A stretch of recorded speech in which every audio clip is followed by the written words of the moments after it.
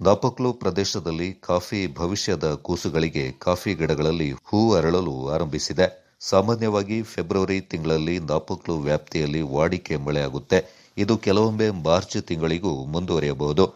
ಈ ಬಾರಿ ಒಂದಿಷ್ಟು ಬೇಗನೆ ಕಾಲಿಟ್ಟ ವರ್ಣರಾಯ ಕಾಫಿ ಗಿಡಗಳ ಮೇಲೆ ಭವಿಷ್ಯದ ಫಸಲಿನ ನೀರೆರೆದು ಮಾಯವಾಗಿದ್ದಾನೆ ಸ್ಥಳೀಯರು ಇದನ್ನ ಹೂಮಳೆ ಅಂತ ಕರೀತಾರೆ.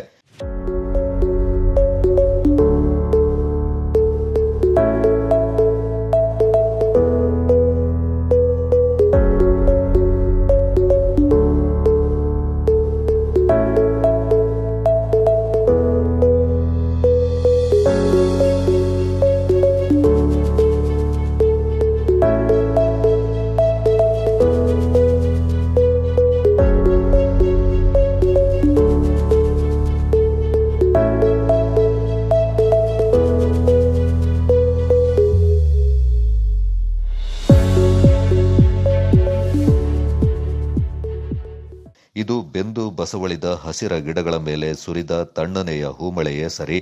ಭವಿಷ್ಯದಲ್ಲಿ ಹೂ ಅರಳಲು ಸಹಕಾರಿಯಾಗುವ ವರ್ಷಧಾರೆಯೇ ಹೂಮಳೆ. ಈ ಮಳೆ, ಈ ಹೂವು ಸ್ಥಳೀಯ ಕೆಲವರಲ್ಲಿ ಹರ್ಷ ತಂದಿದೆ. ಭವಿಷ್ಯದ ಕನಸುಗಳ ಜೊತೆಗೆ ಹೂವು ಅರಳಿದೆ. ಜೇನ್ನೋಣಗಳ ಹಾರಾಟ ಒಂದು ಕಡೆಯಾದರೆ ಕಾಫಿ ತೋಟಗಳ ಮಧ್ಯೆ ಗಮ್ಮನೆ ಪರಿಮಳದ ಸಂಚಾರವೇ ಮನೆ ಮಾಡಿದೆ.